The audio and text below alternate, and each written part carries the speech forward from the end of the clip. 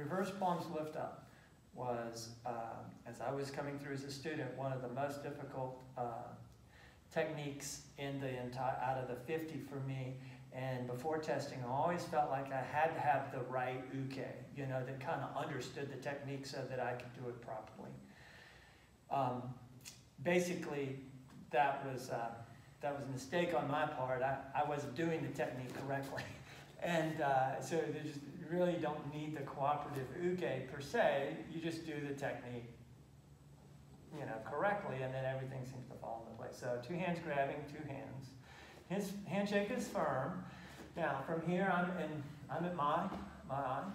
So now from here, I just step back into harmony, right? Now, as I'm stepping back, these hands are coming. They come up, and then they flare out as I'm stepping back into harmony. I was, when I was doing this, trying to do like half of a wrist escape and then reach back and try to grab his wrists. And it was impossible. So what you're doing, what I want you to do or think about doing instead, if you're having trouble with this, uh, the transition with the grip here is you, you bring your hands up and you rotate your palms out like that. Okay? So, so, so as you're stepping back into harmony, so here palms up, out. Now look, that brings him into me. Now, I've got this good grip. He's falling into me. All I do is bring it back here, and he's tapping. Okay? Right? Mm-hmm. Okay. And then the technique is over, according to the book. okay? And now, the, one of the important things is this harmony stance is really deep. Okay? So, because you want to be underneath him as he's coming in on you. So do it again. We're here. Hang on a second. Okay, so we're here.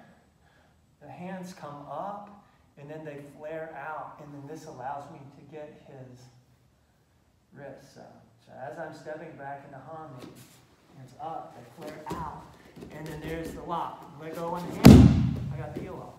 And that's where the technique actually ends. Right? Let go of one hand and then you go with heel.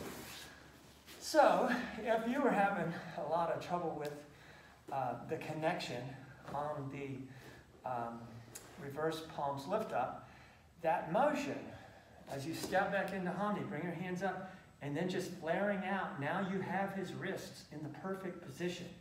He's falling into you, and you just bring them together underneath his center, and the technique is over. Let go of one hand, he'll do a peel off, okay?